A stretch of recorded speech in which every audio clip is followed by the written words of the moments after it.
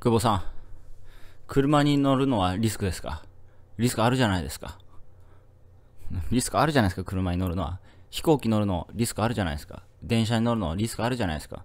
福知山線、300人。福知山線何人死んだ？福知山線いいですか？福知山線事故。福知山線事故は、えー負傷者562人、死者107人。電車乗るの JR の、JR の電車、リスクあるじゃないですか。100人死んでますよ。日本に住むのリスクあるじゃないですか。東北大震災、阪神淡路、関東大震災、東海大地震来るよ。言われてるじゃないですか。富士山、噴火するリスクありますよ。日本、地震大国、リスクありますよ。もう言ったらきりないですね。本当にきりない。だから僕ね、堀江さんがすごいんだなと思うのが、堀江さん車乗らないんですよ。で、言ってんのが、いや、リスクあるやん、みたいな。事故る可能性絶対あるやんと。絶対車運転しないみたいな。だから、もうすごく明確ですよね。いや、車運転して事故ったらどうすんのみたいな。だから乗んねえみたいな言ってんすけど。だからリスクがあるんだったらやらなきゃいいじゃないですか？そう感じるんだったらすごくシンプルで。リスクがあると感じるならもうやるなと。何もやるなと。家から一歩も出るな。もしくは日本に住むなと。地震のリスクは日本の方が高いですよね。今まで地震がない国って探せばあると思うんですよ。どうですかね？ありますよね？世界中探せば地震が、まあ、起こってない国ってあると思うんですよ。そこ行けばいいじゃないですか。なんかそこは言わないけど、そこは言うってね。どういうことだよねっていうね。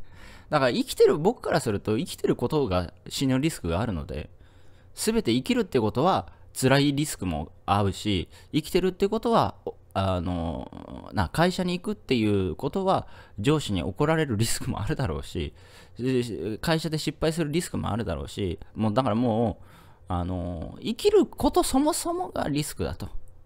だから僕は、あの、なんだあすごい面白いなと思ったのが、あの、お坊さんの話ですね。お坊さんの、あの修行ですよ。なんだ。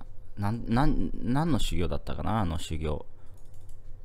お坊さん修行。あの修行。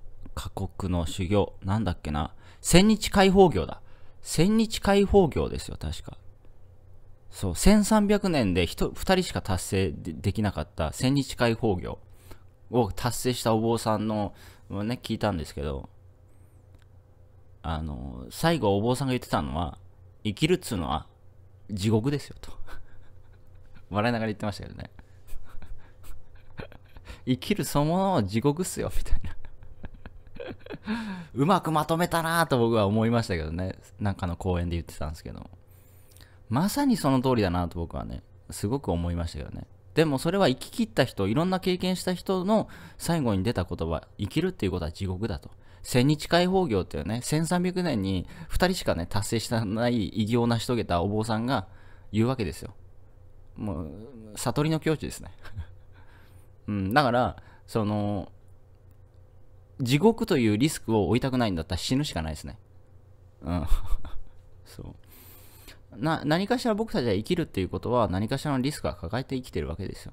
病気にかかるリスクもあるし、家族が死ぬリスクもあるし、家族がね、この前親父が脱輪し、車で脱輪しましたけど、あの、車プレゼントしました。じゃあその車で事故る確率もあるわけです。リスクもあるわけです。だけど、それを恐れてたら車はプレゼントできないし、そう。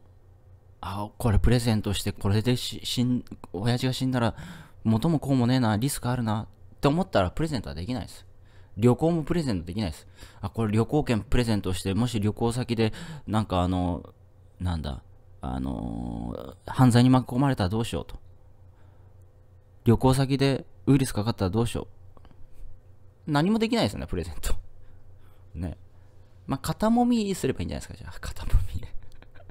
肩もみ券プレゼントするとかね。まあ、とりあえず、まあ、あだこだ言いましたけど、あの、リスク、生きてるだけでリスクです。うん。はい、じゃあ、その生きてるだけでリスクがある人生の中で何に、えー、どんなリスクを負うのが、自分のリターンを得るのかっていう話になると思います。どんなリスクを負うのかが、えー、自分の人生のリターンであると。だから挑戦しなければ、あその挑戦した先のリターンは得られないです。得られる確率ないですよね、挑戦してないんだから。ということで、いってらっしゃい。